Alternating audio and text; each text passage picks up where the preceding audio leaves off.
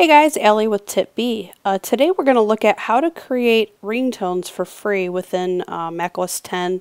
Uh, you can use GarageBand for this, so if you have a Mac, obviously this is not for PC users. Uh, there are several ways to do it on a PC, but today we're just going to look at Mac. Um, you can use GarageBand, which is part of iLife. Uh, your Mac should have come pre-installed with some version of iLife, which has GarageBand.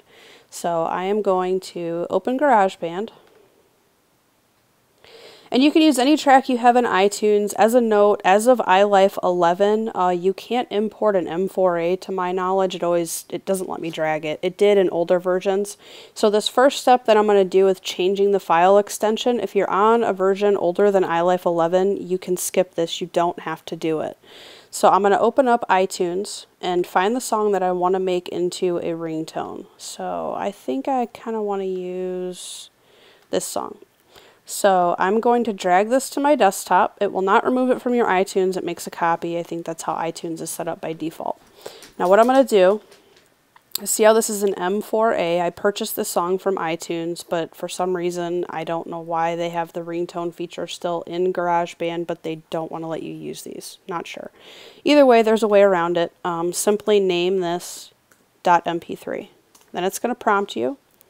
Uh, you do want to use that .mp3 and now you'll be able to drag it into GarageBand. So when you open GarageBand, um, you can just go to new project at the top, however you want to do it. Um, just go to file new, that's what I do. Um, and just, I'm going to name it TIPB ringtone. So it doesn't matter, none of this stuff matters. You can leave it as it is and click create. Uh, when GarageBand populates, you're going to see all this gibberish you don't need. So you can close out this. I think the piano opens by default.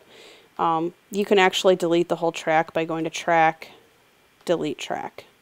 Um, now what I'm going to do is I am going to drag in this file that I just created. Okay, so there's my song. Now drag it to the beginning.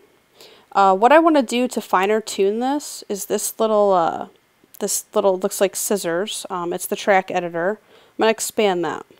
This little slider down here lets you fine tune even more. See how the seconds are spacing out more? It makes it a lot easier to edit this. And you're going to need to expand this to be able to cut away parts if you want.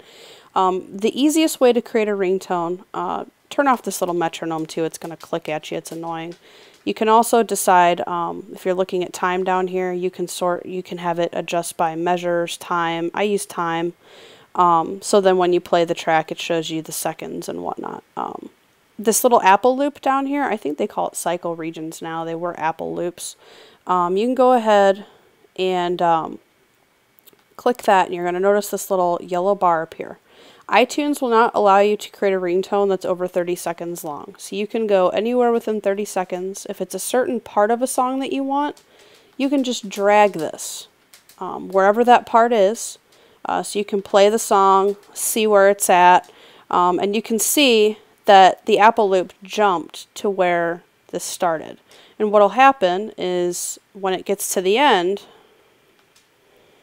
what's it, what it's going to do as you'll see it's going to jump right back to the beginning of that loop.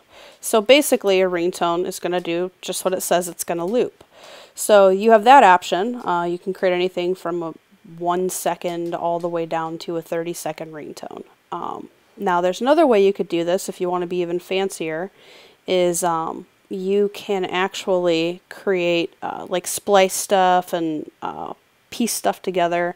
I've done that with a couple of them to where I wanted maybe more than one part of a song. Um, and I found an area that would splice that you couldn't really tell it was spliced and it sounded good together. The way you can do that is say, I don't want this beginning part. Um, I'm going to delete that. Now all I'm doing is highlighting that and then clicking the delete button on my keyboard. It removes it. I'm going to drag this back to the beginning. Um, let's get rid of this Apple loop for just a second.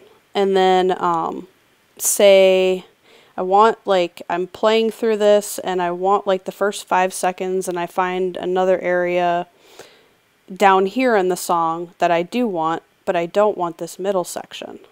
I can delete that. Drag these together, overlap them, however I want to do it. Um, and you can mess with that. It's really kind of up to you. Um, and then just add that Apple loop back. and make it correspond with the part that I want. You can also do something cool um, called you can you can basically make the track fade in and fade out. So if you want to make it fade in at the beginning, you can do that, or fade out at the end. The way you do that is go up here to track and click fade out. So to fade it out at the end, the ringtone's going to end where this yellow bar ends. I can add a starting point for the fade out and an ending point. You can add points in between wherever you want. Um, drag this down and it will fade out starting here and get softer until it finally fades to nothing. You can also do a fade in.